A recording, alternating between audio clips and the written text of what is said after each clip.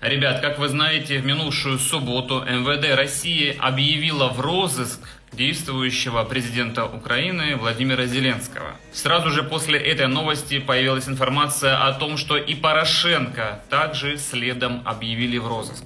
И вот что интересно, уже на центральных телеканалах Германии говорят открыто, что с Зеленским договариваться Россия не будет. Давайте посмотрим две секунды. Der sagt, das sei ein klares Signal an den Westen.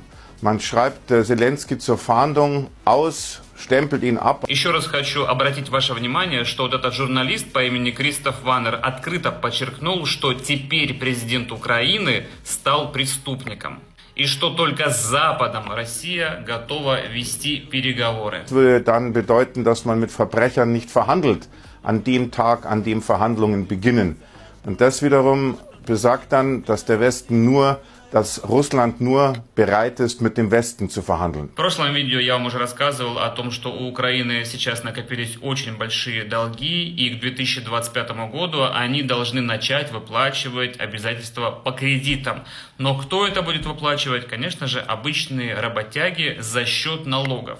И я вот думаю, что будет дальше? Когда в мае, в середине мая у Зеленского пропадет иммунитет, и он уже не сможет договариваться и выполнять обязательства президента. Как вы думаете, что будет?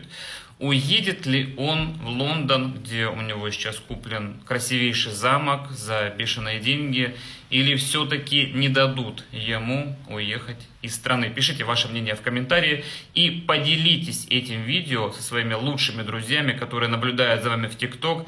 Нажмите и удерживайте эту стрелочку, и выйдет три человечка, которому вы можете доверять и отправить это видео. Также подписывайтесь на мой музыкальный канал Spotify. Скоро вас ожидает очень масштабный розыгрыш. Берегите себя и до новых встреч.